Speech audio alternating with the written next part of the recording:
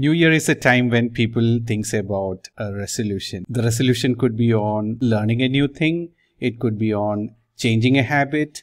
It could be on starting something which was put on hold for a long time and so on.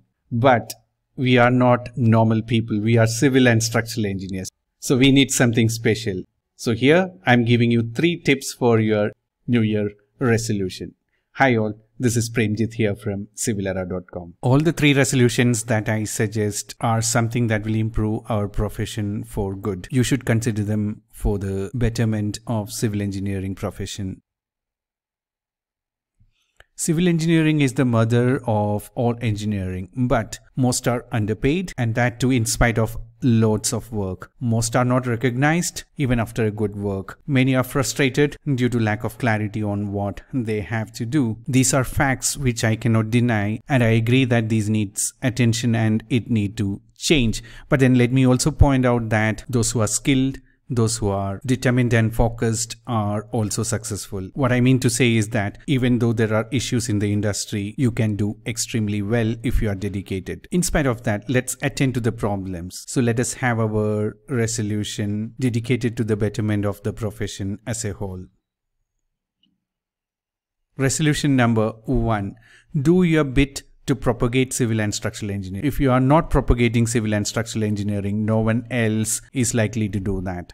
Let the world know the efforts of a civil and structural engineer. Propagate it among common people and also among other stakeholders. Comment about civil engineering scope and work at the right places in social media. Share your works in social media. Share good work of other fellow civil engineers in social media. Let the world know what civil engineering is and what the scope and role of a civil engineer is. Mind you, you have a demand when your profession is known to people who avail the services.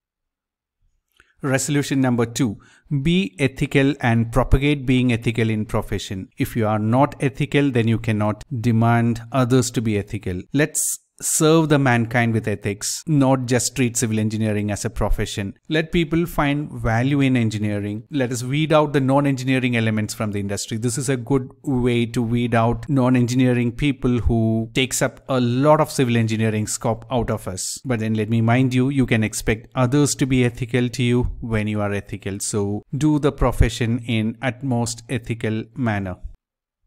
Resolution number three, be united in your efforts and profession.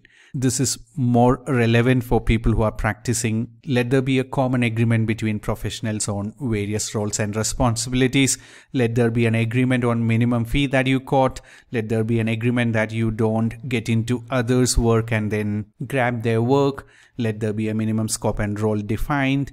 You can do it in cities where you practice or you can do it online and then come up with a common agreement with other consultants of similar interest. Mind you, united we stand, divided we fall. So please pick up one or all of these resolutions and then try to execute this this year. I wish you a very happy and prosperous new year. Hope you liked my short video and hope you will take it seriously and then propagate civil engineering. Please forward this video to all the civil engineers that you know. Thank you for watching. Have a great career ahead.